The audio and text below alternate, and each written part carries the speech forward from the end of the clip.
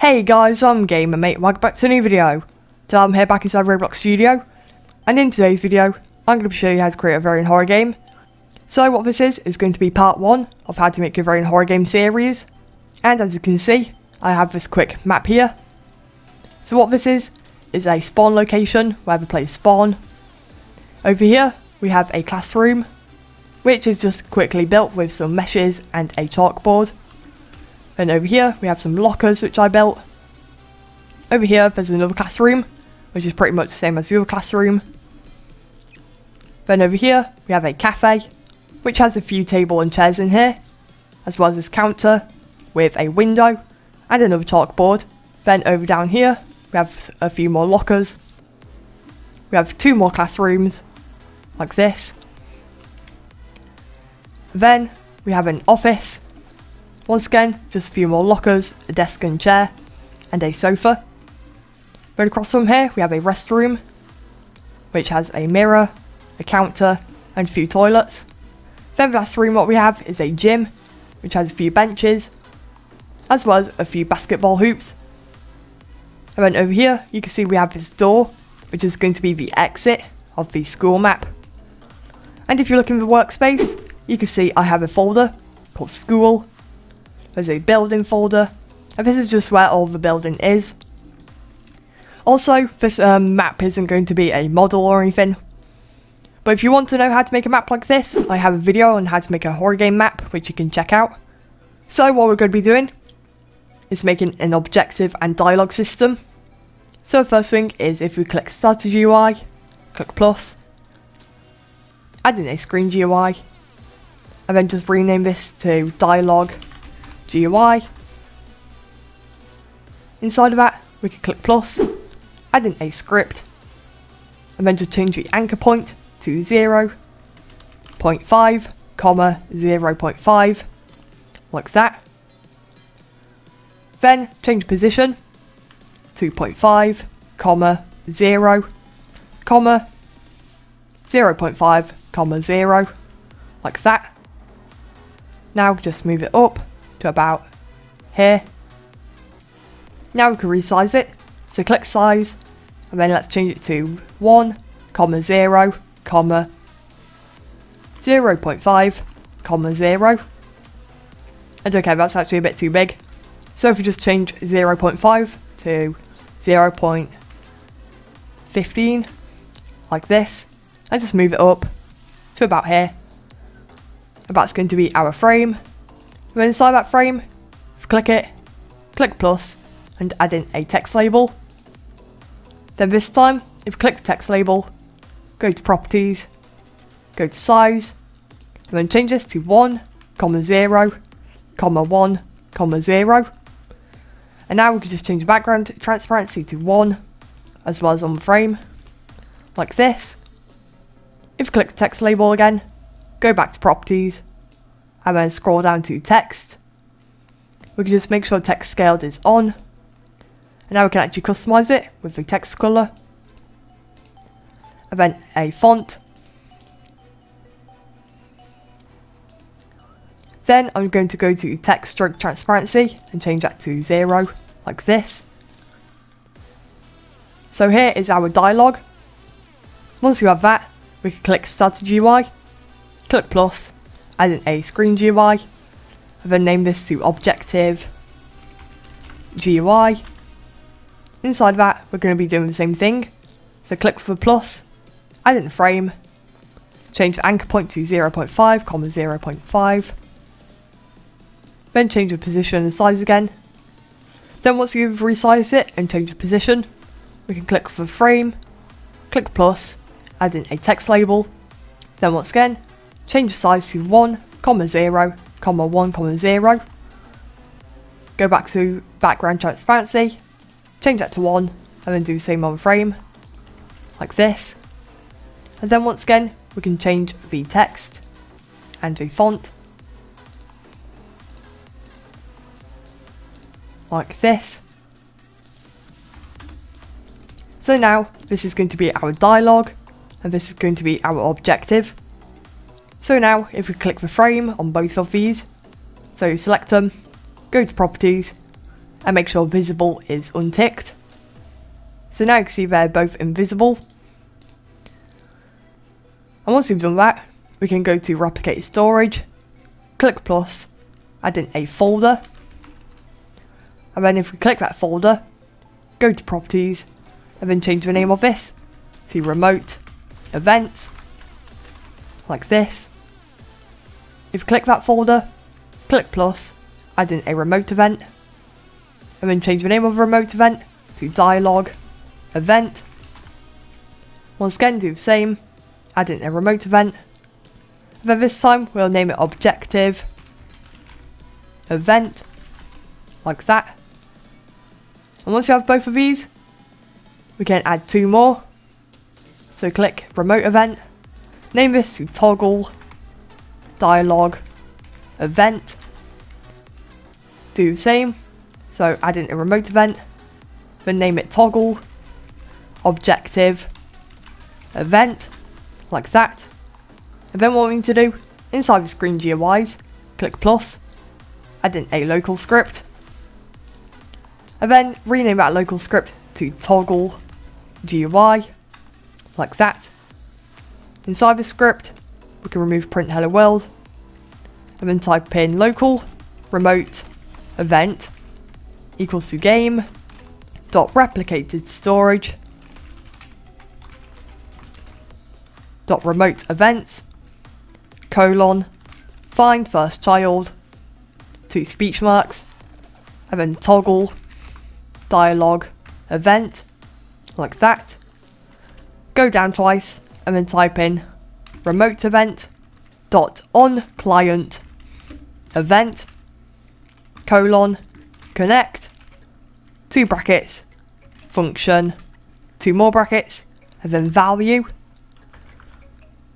and then go down and you enter the period bracket and then we can type in if value equals equals to true then script dot parent dot frame dot visible equals to true. Else script dot parent dot frame dot visible equals to false like that. Then once you have that we can just close off script copy it paste it inside the objective open it. Now what we need to do is change toggle dialog event to toggle objective event like that. And then it should work the same for the objective. Now we've closed that off. Close off the GUIs and your remote events. And now you should see a folder called StarterPlayer. If you open that click StarterCharacterScripts click plus add in a local script and then we can name that local script to dialog script. And inside that, we can type in local player equals to game dot players dot local player. Then local remote event equals to game dot replicate storage dot remote events colon find first child, speech marks, and then dialogue, event, go down, type in local, frame, equals to player, dot player, GUI, colon, wait for child, two brackets and speech marks, and then type in dialogue, GUI, like that. Then outside brackets, do dot frame, like that. Then if go down and type in local function, animate text, two brackets, and then content. Then go down and new enter the appear And then if you do for i equals to 1, comma, string dot len two brackets and then content. Outside brackets and then do. Go down and now what I can type in is frame, colon, wait for child, two brackets and speech marks, and then text label, dot text equals to string dot sub brackets and then content and then comma then one then comma and then i like that. Then go down and type in wait 0.05 like that. And then underneath these two ends we can go down and then type in remote event dot on client event colon connect two brackets function two more brackets and then content. Go down and now what we can do is frame dot visible equals to true and then go down frame colon wait for child brackets and speech marks, text label, and then dot text equals to and then two empty speech marks like that. Go down, then type in animate, text, brackets, and then content like that. Then once you have this, what we can do is close it off. Click start character script, click plus, add in a local script, name this local script to objective script, and inside that we just copy paste the same dialogue like this, copy it, paste, and now what we need to do is change this to objective event, and the last thing we need to change is this GUI to objective GUI and then everything else should be okay. You've closed it off. And before we test it, we actually need to add in another script. So if we just close these off, click ServerScriptService, click plus, add in a script. And this is going to be our main script for the entire game. So click script, click name, then rename this to main game script. Like that. So if you remove print hello world and type in local dialog event equals to game dot replicate storage dot remote events colon find first child brackets and speech marks and then dialog event. Go down and then we can do the same. So local objective event equals to game dot replicate storage dot remote events. Colon find first child. Brackets speech marks event objective event. Go down twice and then if do local function main game two brackets go down, a new end should appear. And then underneath this end, we can just go down, type in wait, and then let's wait 10 seconds, go down, and then main game, two brackets. And what this does is after 10 seconds of being in the game, then it should start the actual main game, which is this function. So if we actually go up and type in local toggle dialog event equals to game dot replicated storage dot remote events colon find first child brackets and speech marks. Then this time we can do toggle oops toggle dialog event. Then let's do the same for the toggle objective event. So local toggle objective event equals to game dot replicate storage dot remote events colon find first child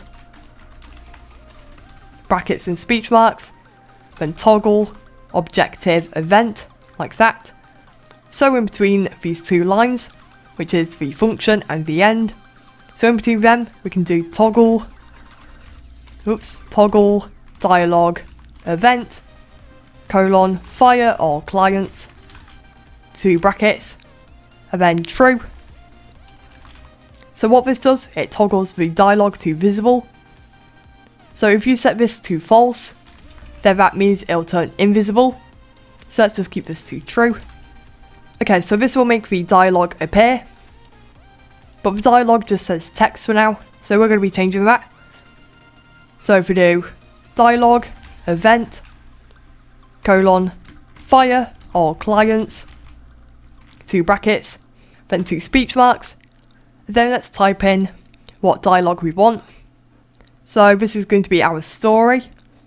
So let's type in something like, I need to find the office, like that. I'll just add in a note, dialogue, talking, like that. And then underneath that, we can add in a wait. And this wait is how long the dialogue is on the screen for. So let's wait about 4 seconds, go down, and then let's actually toggle the dialogue off. So toggle, oops I can't spell, toggle dialogue, event, colon fire all clients, brackets, and then false. Once again I'll add in a note. Then this time we'll do toggle, objective, event, colon fire all clients, two brackets, then this time we'll set this to true. Once again, I'll add in a note. Then we can do objective, event, colon, fire all clients, two brackets, speech marks, and then this will be the text of the objective. So this can be find the office, like that. And let's see if this works. So close off the script, click play, then once we load in, we should see the dialogue work. Okay, so once we load it in, you can see I need to find the office. And then down here, find the office, like that. And then the dialogue untoggles, so it goes invisible. And then this appears. And you can see the text also animates. And that should be it for part 1 of this new series on how to make your very own horror game. If this video helped, make sure to leave a like, comment and subscribe down below. In the description you can check our Roblox group and Discord server. And I'll see you later. Bye!